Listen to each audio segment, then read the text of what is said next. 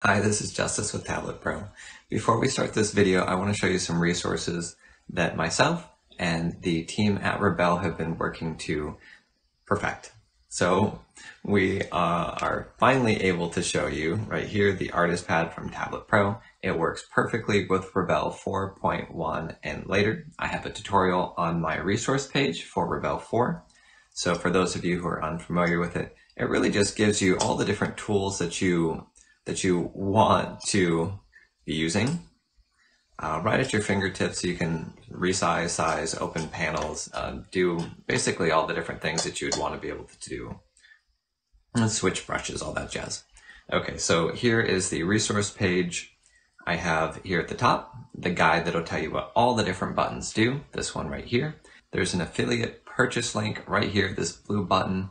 If you use that, it'll help me continue development as well as support my family. And I really appreciate you using that.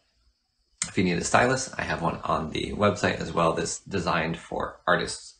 And I like it. It's the one I use all the time as opposed to the two surface pens I have. So there's tutorials here. Right here, there's an introduction. There's the essential series, the brush creator series, and I will have advanced tutorials here as well, including a lot of demos. The PDF for Rebelle 4.1 and later will be hosted here as well. And the artist pad for Tablet Pro, you can find it right here. The install guide for Tablet Pro is right here as well. And that will walk you through setting up the artist pad that you saw uh, just a moment ago. Let's go ahead and get started with the tutorial. If you guys are using a stylus to do digital art on a Windows 10 tablet, this is a fantastic channel for you, so subscribe right now.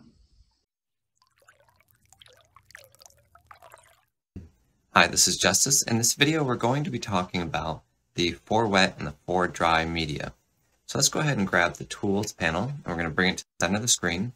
And on the left side, these four, ink, watercolor, acrylic, and oil are our wet media. On the right is pencil, pastel, marker, and airbrush. These are your dry media. Now they have different settings four these types of media, wet and dry. So we're going to pull over the properties panel. And you can see that the wet media have different paint modes, one through five are the keyboard shortcuts. So paint, number one, paint and mix, number two, paint and blend, number three, blend, number four, and erase. Now if we go over from the ink pen to the watercolor, you're going to see that watercolor has one additional setting. This is our transparency mode. Transparency is going to go from transparent to opaque, and after we get to the oil brushes, I'm going to demonstrate that for you. Acrylic and oil have the same settings. So acrylic and oil have another setting called dirty brush, and that's going to make your brush behave more like a dirty brush. So if you have a brand new paintbrush every single time that you get a new color or you switch to a new color, that's going to be what it's like when dirty brush is off. And if you have that turned on, it's going to feel like you're using the same brush in real life for all your different color choices. So the next thing that we're going to look at, let's go ahead and lay down some color here.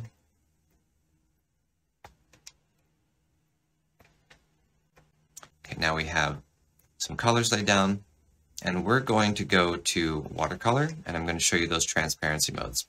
Let's choose transparent, and let's use a nice red. And as we go over the top of those colors, you can see that it doesn't cover over those. It's not opaque, it's transparent. Now if we switch this to opaque, if we go over those colors here, you can see that it maintains that red color over the top of all the underlying colors. Now in between the different dry media, there are different sizes and settings that are applied to each of these. Now you can copy from the brushes. You can take one brush, copy the brush presets, go to a different brush, and then paste those brush presets over into the other brush. It will not behave the same way, even with all the same settings inside of the brush creator.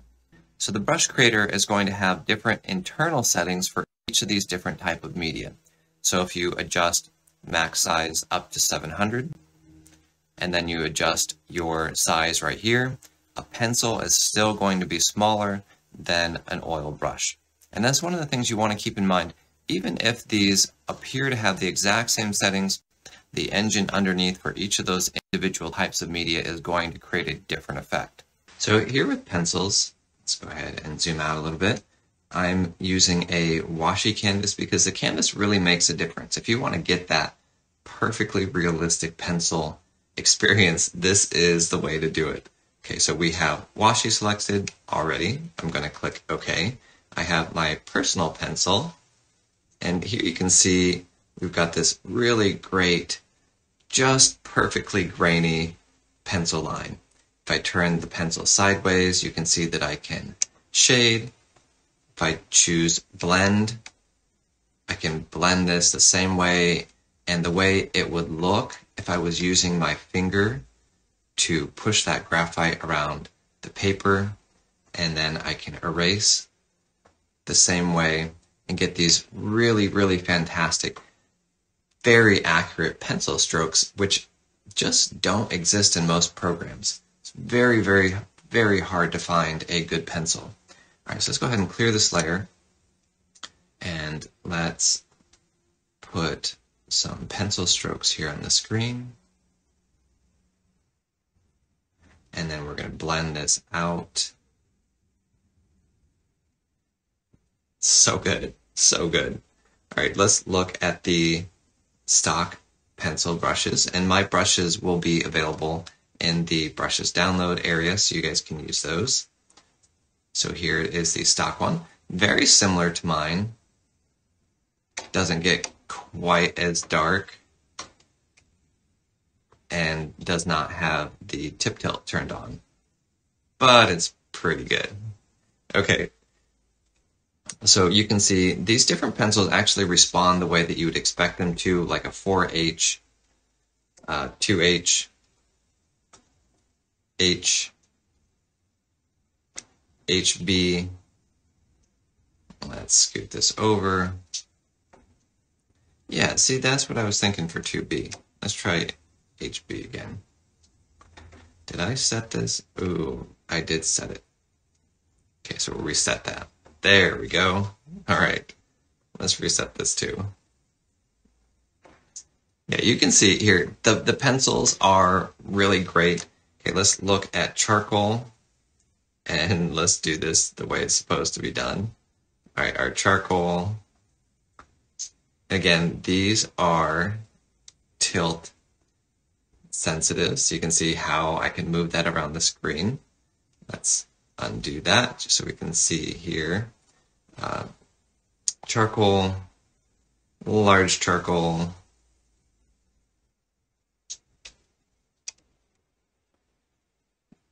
really, really great. Again, let's look at our dry media here, textured,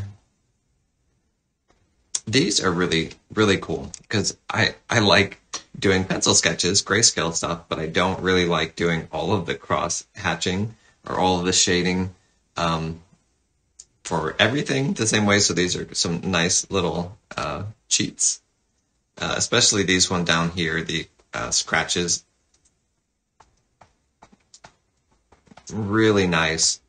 And again, you can switch to blending and blend that out and get this, this really beautiful, sketchy blend.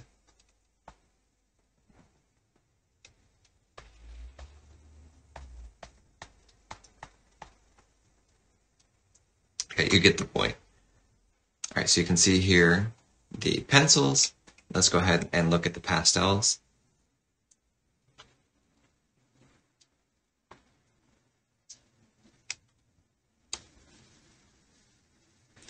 All the different types and styles of pastel.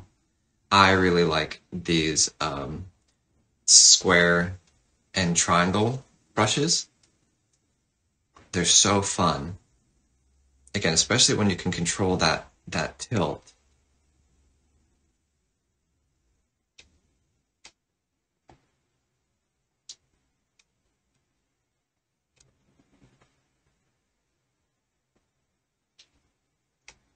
and let's look at the markers.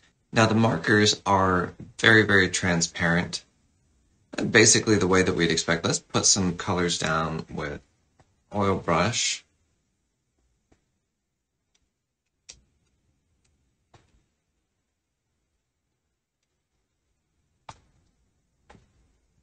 And switch back to the markers. Let's bring the size up And the markers are very transparent, so you can see these colors underneath. It has this multiplying effect, uh, just like markers in real life. So you can build and you can blend and all of these work with the natural color blending. All of the dry media work with the natural colors option here to create much better true to life color blending. So you can see yellow and blue make this beautiful green color, which has been really improved in Rebelle 4. Just the way I would like this to, to behave. And then there's the airbrush, which you can make really large if you'd like. It's the largest tool in the set of dry media. So you can make these very large airbrush strokes and adjust it the way you want. There's a couple of different styles. And all of the tools you can change dramatically by picking different shapes and grains and adjusting all the different settings here inside of the brush creator. If you guys have questions about the four wet or the four dry media, please put it in the comment section. Thank you for watching and I'll see you in the next tutorial.